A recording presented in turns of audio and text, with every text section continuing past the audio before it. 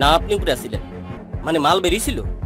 OTT প্ল্যাটফর্মে superstar Shakib Khan অভিনীত সদ্য মুক্তি পাওয়া নবাব এলএলবি ছবির একটি দৃশ্যে অশ্লীল সংলাপের মাধ্যমে পুলিশকে হেয় করা মামলায় গ্রেপ্তার হয়ে বর্তমানে কারাগারে আছেন ছবিটির পরিচালক অনন্য মামুন এবং অভিনেতা শাহিন মৃধা।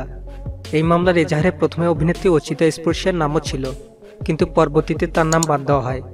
এই খবরে সামাজিক যোগাযোগ মাধ্যমে চলছে আলোচনা সমালোচনা চলচ্চিত্র অনুরাগী বিশ্লেষক ও সাংবাদিক সহ অনেকেই এই ঘটনায় নিজেদের প্রতিক্রিয়া জানিয়েছেন।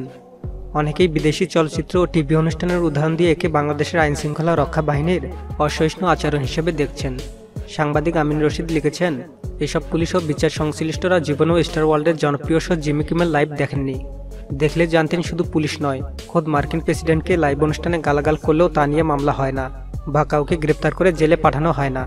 তিনি মনে করেন শুধু ভারতের বাংলা ও হিন্দি সিনেমাতে পুলিশকে নিয়ে যেসব রসিকতা ও গালাগাল করা হয়, তা নিয়ে মামলা হলে বছরের জনাভিষেক পরিচালককে জেলে যেতে হতো। সিরাজুল হোসেন প্রশ্ন তুলেছেন, চলচ্চিত্রে আপত্তিকর দৃশ্য থাকলে পুলিশ মামলা করবে কেন? সেন্সর বোর্ড আছে কি জন্য? পুলিশের পেছনে কাপড় নাই মাথায় টুপি। এটাই প্রমাণ যে চলচ্চিত্রে যা দেখানো হয়েছে সেটা সত্য বটে। তা না হলে এত গায়ে লাগে কেন? ঢাকা বিশ্ববিদ্যালয়ের গণযোগাযোগ ও সাংবাদিক বিভাগের অধ্যাপক এবং চলচ্চিত্র সমালোচক ডাক্তার ফাহমুদুল হক তার ফেসবুকে লিখেছেন, চলচ্চিত্র পরিচালক সমিতি, শিল্পী, কলাকুশলী সমিতি কি একটু বিবৃতি দেবে? তাদের মুক্তির জন্য? অবশ্য চলচ্চিত্র সংশ্লিষ্ট শিল্পী ও পরিচালকদের সংগঠনগুলোর পক্ষ থেকে এখন পর্যন্ত এ নিয়ে কোনো বিবৃতি আসেনি। ফাহমিদুল হক তার আরেক স্ট্যাটাসে পুরনো বাংলা চলচ্চিত্রের বহুল ব্যবহৃত সংলাপের প্রসঙ্গ টেনে লিখেছেন, সেই ভালো ছিল। পুলিশ শেষ দৃশ্যে এসে বলতো, আইন নিজের হাতে তুলে নেবেন না। খাকি পরা রোগাপটকা দেখতে ঠোলাদের আসলে তেমন কোনো ক্ষমতাই ছিল না। আজ তাদের অনেক ক্ষমতা।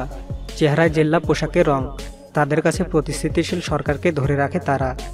এদিকে চলচ্চিত্র আন্দোলনকর্মী federation of film society of বাংলাদেশের সাধারণ সম্পাদক বিলায়ত হোসেন মামুন মনে করেন, বাংলাদেশের চলচ্চিত্র নির্মাণের যে স্বাধীনতা নেই এই ঘটনা তারই একটি উদাহরণ। তার মতে চলচ্চিত্রের গল্পের কোনো পেশাজীবীর খারাপ আচরণের অর্থ এই নয় যে, ওই পেশাজীবীদের পুরো সমাজেই খারাপ। গল্প বলার ক্ষেত্রে এই টাইপের লাল ফিতা বেঁধে দিতে থাকলে বাংলাদেশের সত্যিকারের চলচ্চিত্র আর কখনোই হবে না।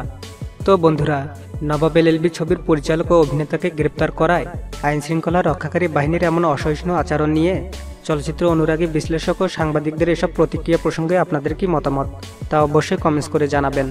এবং বিনোদনের সর্বশেষ সংবাদ পেতে অবশ্যই আমাদের চ্যানেলটি সাবস্ক্রাইব করবেন। ভিতরে ঢুকছিল? না ঢুকে নাই। সবাই কি আপনার উপরে আসিল না, আপনি উপরে আসিলেন মানে মাল বেরিয়েছিল?